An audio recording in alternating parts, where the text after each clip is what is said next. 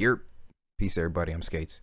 So I get a lot of people asking about the Maschine MK3 Mikro. If there's a template for Ableton, uh, like there's one for the MK3, the regular MK3. The answer is no, not right now anyway. Uh, Native Instruments is in the process of working on one, um, but I found another way. So this is the way that you can get this set up. First thing you want to do is drag the instance of Maschine into Ableton. Then you want to hit this, go to output or MIDI. You want to set this to host, right?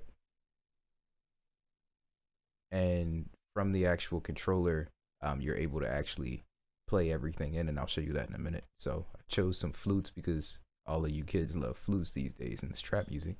Um, MIDI from, you want to choose Maschine 2, and then you want to choose Maschine 2 there, and then you arm this, and now you're able to play. Now what you want to do from your controller is play anything you want to on sound one. This only works for sound one. I haven't figured out a way to get it to spread across the other pads, but you go to sound one, it'll play. If you go to keyboard mode, it'll play directly and you can actually do like chords.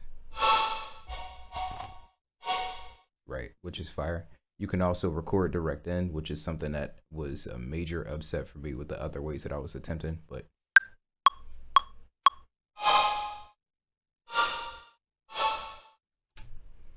that sounded terrible, but you can see that it actually picked up the MIDI data from me recording directly in with the pads, right?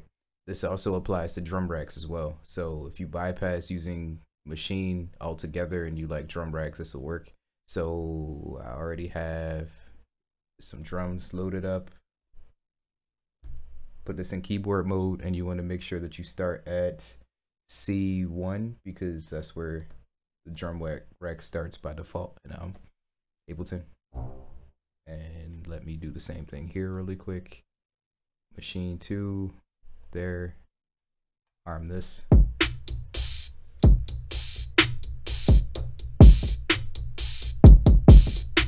Same thing, you can record them directly in.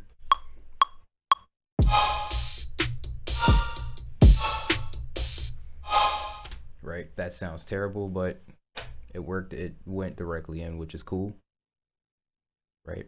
Um, but it works. And the difficulty now, because I know a lot of people are going to ask, how would you get the sounds from Maschine to record direct into Ableton? So if you watch my other video where I did that long demonstration on how you um, set up Ableton to be able to pull out any of the MIDI data, you can do that without having to pull the MIDI data out. And I'll show you what I mean in a second if I can find my right template. Oh, here it is. Cancel. Grab this.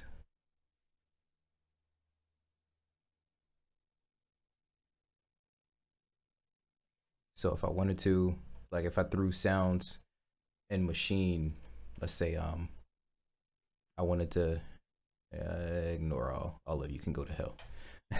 um let's say I threw some sounds inside of here and I wanted to record them directly out. I could put like a Maschine sound that I can only like get from here.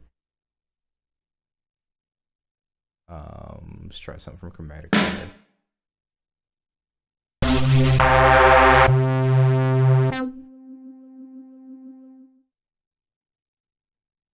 Put that on sound one from the Maschine controller, what you want to do is choose between the instances because right now that's obviously just on sound one, right? So choose the instance by hitting shift instance. You want to go down to, actually want to stay on the first instance, right? And then from here, you want to choose same exact thing, Maschine two, Maschine two. And now anything I play, when I arm this,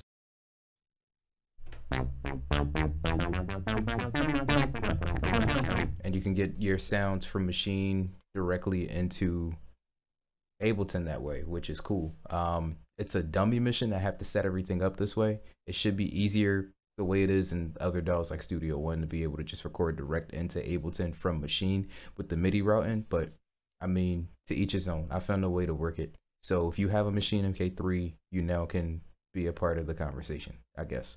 Um, in the future, Native Instruments is planning on making a template for the MK3 Mikro, so you guys will be able to do the same exact thing just using the regular controller template for Ableton.